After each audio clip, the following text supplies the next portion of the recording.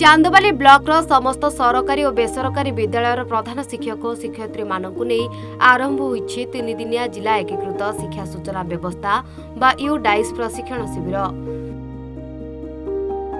ସାୟନ୍ତାର ସାରଳା ଉଚ୍ଚ ବିଦ୍ୟାଳୟରେ ଅନୁଷ୍ଠିତ ଉକ୍ତ ଶିବିରକୁ ବ୍ଲକ ଶିକ୍ଷା ଅଧିକାରୀ ଶୁଭେନ୍ଦୁ କୁମାର ମହାରାଜ ଆନୁଷ୍ଠାନିକ ଭାବରେ ଉଦ୍ଘାଟନ କରିଥିଲେ।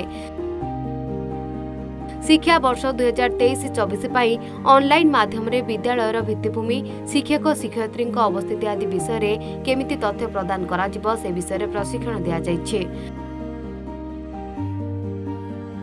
ତିନି ଦିନ ଧରି ଚାଲୁଥିବା ଉକ୍ତ ପ୍ରଶିକ୍ଷଣ ଶିବିରରେ ଚାନ୍ଦବାଲି ବ୍ଲକର ତିନିଶହ ଅଡ଼ତିରିଶଟି ସରକାରୀ ଓ ବେସରକାରୀ ବିଦ୍ୟାଳୟର ପ୍ରଧାନ ଶିକ୍ଷକ ଶିକ୍ଷୟିତ୍ରୀମାନେ ଯୋଗଦେଇ ପ୍ରମୁଖ ଉପସ୍ଥିତ ରହି ଶିବିର ପରିଚାଳନା କରିଥିଲେ।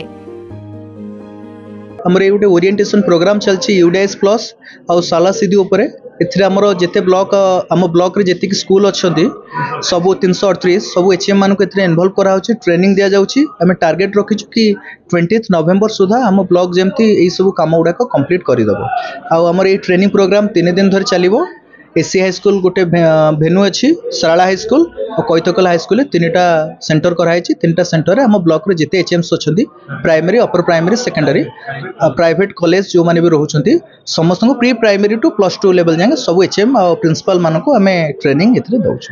ଶିବିରରେ ୟୁ ଡାଇସ୍ର ବ୍ୟବହାର ଆବଶ୍ୟକତା ତଥା କାର୍ଯ୍ୟକାରିତାକୁ ନେଇ ସମସ୍ତ ସ୍କୁଲର ପ୍ରଧାନ ଶିକ୍ଷକ ଓ ଶିକ୍ଷୟିତ୍ରୀଙ୍କୁ ତାଲିମ ଦିଆଯାଇଛି।